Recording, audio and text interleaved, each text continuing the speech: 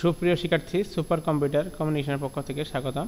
এ পর্বে আমরা শিখব অ্যাডব ফটোশপে লেয়ারে বিভিন্ন অবজেক্ট তৈরি। প্রথমে আমি একটা নতুন একটি ফাইল নেব। লেটার নেওয়ার পরে এটা কিন্তু লগ আছে, আমরা নতুন লেয়ার নিয়ে কাজ করব। লেয়ারের ডান পাশে অ্যারোকুতে ক্লিক করব, অথবা কন্ট্রোল শিপ এন্ড চেপে লেয়ার নেব।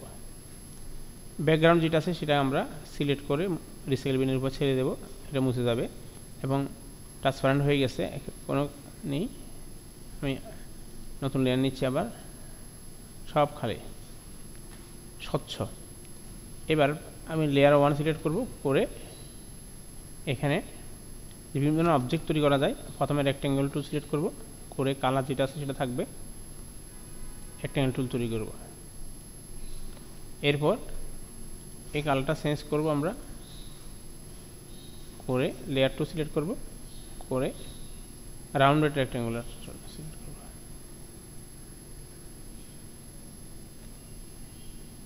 এরপর আরেকটা লেয়ার নেব। ওকে কালার আমি পরিবর্তন করব না। পলিগনাল টুল নেব।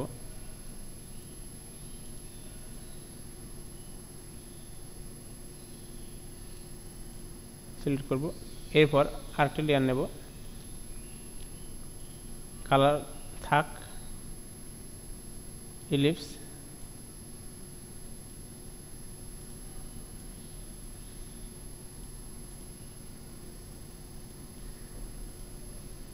অর্থাৎ আমি যদি এই শো বাউন্ড বাউন্ডিং বক্স উঠে দিই, মনে হচ্ছে সবগুলো একই।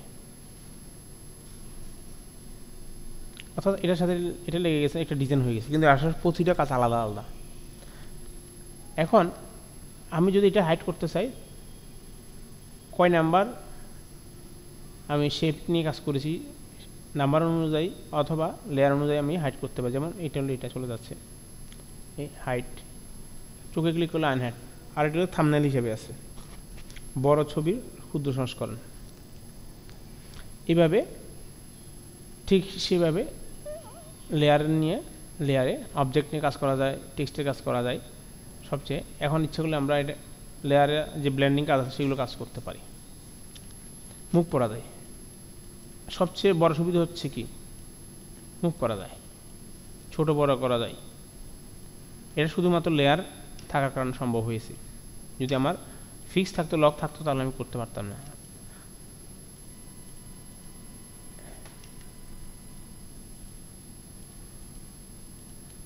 ধন্যবাদ সবাইকে।